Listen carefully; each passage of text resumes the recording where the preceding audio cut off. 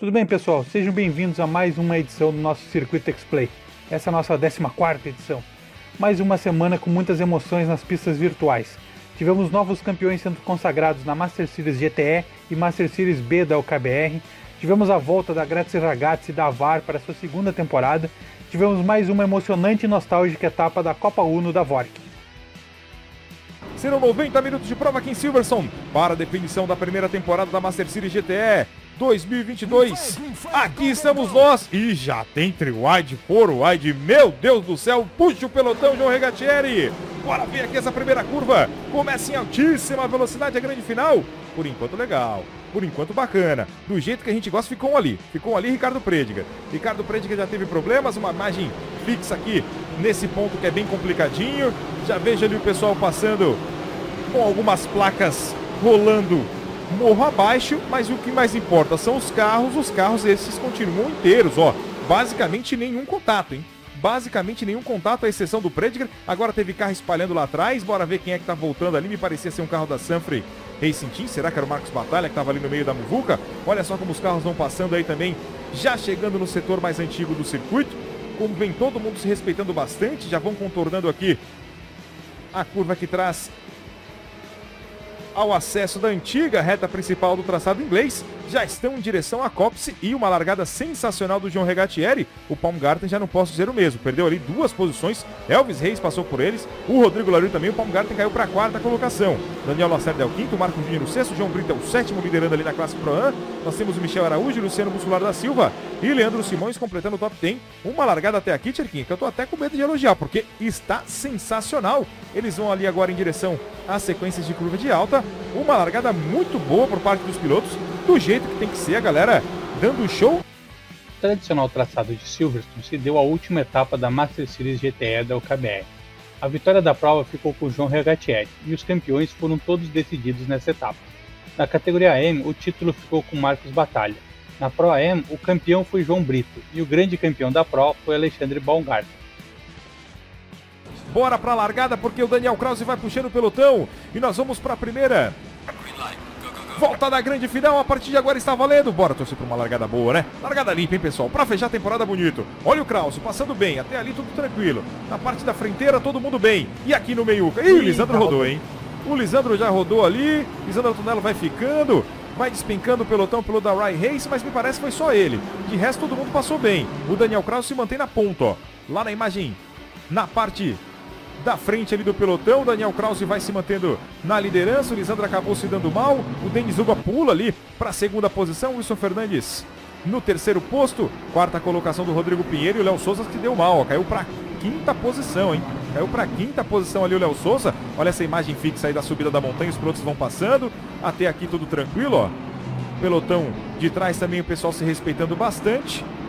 E o início de prova mais complicado para o Lisandro que acabou rodando, o Antonello caiu lá para a 26 de resto uma largada boa, um destaque mais ou menos ali para o Léo Souza que caiu da segunda para a quinta posição. Os pilotos vão completando ali. Mais uma final da UKBR, desta vez a Master Series B, no circuito de Monte Panorama. A decisão foi na subida e descida da montanha. A vitória da prova e o título da prova ficou com Daniel Krause. Wilson Fernandes chegou em segundo e Denis Urba completou o pódio. O título da categoria AM ficou com Daniel Lobão com Giancarlo Velarde puxando o pelotão. Cadê ele? Tá na tela. Ele, João Bregonci, sentando o pé da direita e o Bregon se queimou. O Bregon se queimou e depois patinou o Fly, vai ficando ali no meio do pelotão e a largada tá aí, ó. Curva de alta já, hein? Curva de alta, todo mundo vem. Nessa primeira parte, olha só como tem carro vazando ali. O retão, deixa eu ver de quem era aquele cara, é um carro da Target que passou ali meio que perdido e acabou ficando três carros lá no fundão, ó. Bruno Barbosa, Menescal e Pablo Bauer. Já problemas para a galera do fundão. João Bregonce já tomou um DT porque queimou a largada, patinou, queimou a largada e já se deu mal o piloto ali da Fly Racing no detalhe. A curva mais traiçoeira do circuito, que é esse hairpin aqui de nome Adelaide. Olha o pessoal fazendo white. Meu Deus do céu! Todo mundo lado a lado buscando ali as ultrapassagens. Por enquanto, uma largada boa, tirando ali os três primeiros, os três carros que ficaram naquela curva 1. De resto, o pessoal vai passando bem. Esse aí é o líder, Giancarlo Velarde, Jason Alves na segunda posição. Belíssima largada do Jason Alves. Pedro Cruz Gomes vem ali no terceiro posto da classe Pro. Também conseguiu se dá muito bem o Pedro Cruz Gomes e tem um ali entre eles que não é da classe Pro. Deixa eu identificar de quem é ali. Não, é sim, todo mundo da classe Pro ali nas primeiras posições. Leonardo Sampaio vem na quinta colocação. O sexto colocado é o Joey Silvestrini, sétima do Juliano Bastos, oitava posição do João Bregonça. Olha para onde caiu o João Bregonça e só aí surge o líder da classe AM, que é o Gerald Stammer. Não é mais, é o Diego Beraum. Deu o bote ali para cima do companheiro de equipe. As Ferraris da GV Race ali todas em comboio. A gente vai completando essa primeira volta. Diego Beraum assume a liderança da classe A. E lá na frente, Giancarlo Velarde largou bem, se deu mal o João Bregonce, se deram mal também Bruno Barbosa, Marcelo Merescal e Pablo Bauer. É o início de prova, o Bregonce já pagando o drive-thru ali, ó. Indo para os boxes de João Bregonce e você acompanhando a complementação dessa primeira volta. E aí, Tcherquinha? Os que vão largar aqui para a segunda bateria. Você junto com o Bruno Pio, puxando o pelotão no momento que já surge penalização para João Belli, hein? Já tem penalização para João Belli. E você já tem a largada aqui na tela da X-Play. Bora ver a imagem fixa ali na passagem das máquinas. Bora torcer para uma largada limpa, tranquila aqui para os pilotos. Por enquanto todo mundo passando bem, olha só. Tudo tranquilo, tudo sossegabilité. Os pilotos vão avançando ali na curva 1 e 2 e já vão em direção lá ao curvão. Olha só como a imagem fixa dessa vez não ficou ninguém para trás, ó. Não ficou ninguém para trás até agora, né? Acabou de ficar um ali, Ricardo Rui. De novo, meu amigo Ricardo Rui não tá com muita sorte não, Ricardo Rui mais uma vez com problemas por ali. E agora rodou na frente Leonardo Sampaio. Vai quase, quase fechando o trânsito. Os pilotos vão passando por ele. Mais gente fechando aqui atrás. Leonardo Ferreira, hein? Os Leonardos acabaram rodando no hairpin. O Ferreira e o Sampaio. E quase, quase provocou uma muvuca ali no meio do pelotão. Com isso, Joey Silvestrini assumiu a ponta da prova. Mas largada monstra do Velarde. O Velarde aparece na segunda é posição. E o Joey quase, quase errou. O Velarde é ponteiro, rapaz. O Joey errou, rodou. O Joey acabou errando ali com isso. O Giancarlo Velarde pula pra ponta aqui. Que isso? Está alucinado. O Giancarlo Velarde já aparece na liderança da prova com o João Bregonce segundo. Olha, o Bregonce veio junto, hein? O Bregonce veio junto ali com o Giancarlo Velarde já aparece na segunda posição. Pedro Cruz Gomes é o terceiro. E largada foi essa dos pilotos mais experientes do grid. Olha o trio wide ali, ó. Olha o trio wide com o Machado, com o Bastos e com o Jason Alves. Os pilotos ali, todos próximos nesse momento da prova. Eles vão concluir a primeira volta. A gente vai vendo ali gente indo para os boxes, inclusive João Belli, ó, Diego Beraum, Fernando Ursino, muita gente indo para os boxes já na primeira volta, enquanto que tem carro rodando ali, é o Julio Espinosa, indo para fora da pista. Um início de prova arrasador de Giancarlo Velarde, de João Bregonce e de Pedro Culas Gomes, que os três primeiros escalaram o pelotão, hein? A volta da Grazia da VAR para essa T2 foi no circuito de Manicure. Grid lotado, muitas disputas e emoções nas duas baterias. Na primeira bateria, a vitória da Pro foi de Giancarlo Velarde. Na AM foi de Gerhard Stammer. Já na segunda bateria, a vitória da Pro ficou com João Bregonce e na AM ficou com Everson Basco. E Matheus Gomes, Jonathan Oloha e Emerson Tcherkaus que completam o top 10. E a partir de agora, meus amigos e minhas amigas, está valendo a primeira bateria aqui no Autódromo Internacional Virgílio Távora, o circuito de Fortaleza. É meio que Curitiba, ficava ali em Pinhais, aqui fica em Eusébio, mas é considerado o autódromo de Fortaleza. Tá ali, ó. Alexandre Oliveira largando bem, se mantendo na ponta. Já vem o Rodrigo Volek pulando para a segunda colocação, a imagem fixa na curva do desespero, que é ladeira abaixo. E olha só como todo mundo vai passando bem, sem problemas nenhum. Tem um carro que vem lá dos boxes, é o Martim Benavides, me parece está saindo lá de trás. Não conseguiu ainda chegar ali próximo aos seus concorrentes. Tem gente dando uma volta lá fora. Veja o carro, me parece ser do Thiago de Batista, é o dele mesmo que deu um giro lá na parte externa do gramado, deu aquela boa parada no gramado cearense, mas já vai voltando, eles vão contornando ali, ó. Mais uma imagem aberta, você vê que tá todo mundo se respeitando bastante, como eu disse, é um circuito bem amplo. Olha a zebra, só a zebra já dá para colocar o Uno ali em cima. E o Alexandre Oliveira largou bem, largou bem demais o Zé da Meia. Tá na ponta da prova, na segunda colocação Rodrigo Volek, terceira do Dani Gomes e quarta posição do Ernesto Brock. Quinta posição aparece o Matheus Gomes. Na sexta, o Emerson Tcherkowski.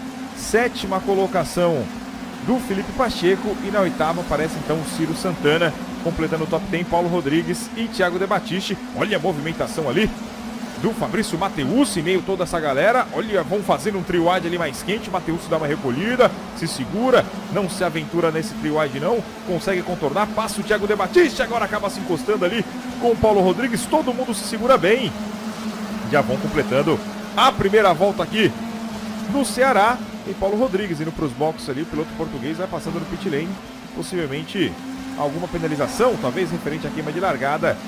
Vai para os boxes o Paulo Rodrigues e uma corrida que começa eletrizante com muita disputa, principalmente destacando o Matheus vindo lá de trás. E vamos para a largada porque a corrida já começa de vez, não tem volta de apresentação e Jonathan Rolon puxa o pelotão na segunda corrida da noite. São 33 voltas, hein? 33 voltas, tem muita coisa pela frente. Fica com a gente aí que a gente vai contar histórias do passado, agora nostalgia pura. Mas primeiro bora ver a largada. Tá aí o Jonathan, ó. Como mergulha o Jonathan mergulhou com gosto de quero mais, só que ele quase não fez a curva, mas segurou. Segurou a primeira posição, lá atrás o Thiago De Batista já vai balançando. E você vê o Jonathan Roland puxando o pelotão. Na segunda colocação, Matheus Gomes, largou bem ali o Matheus. Olha o Pacheco como vem por fora ali, ó. Tentando tomar para ele o segundo posto. Tá por ali também o Fabrício Mateus na quarta colocação. Tá por ali também o João Pedro, que é o quinto colocado. São os pilotos que vão surgindo na tela da X-Play. Nesse primeiro giro aqui no Autódromo Internacional de Virgílio Távora, o Autódromo de Eusébio, no Ceará, que recebe o terceiro desafio da Copa Uno HV Street Design que você confere com exclusividade aqui na X-Play Sports. Se estabeleceu ali o Filipão, ó. Felipe pulou para a segunda posição. O Matheus Gomes agora é o terceiro, mas já vai sendo superado pelo Matheus. Aliás, não, ali é o Ciro Santana, rapaz. Nada de Matheus, eu confundi ali os carros, os Unos da Forever. Quem vem na terceira posição é o Ciro Santana. Largada boa do Ciro Santana. Quarto colocado o Matheus Gomes. Na quinta posição já tem o Tcherquinha. Olha o Tcherquinha aí, hein?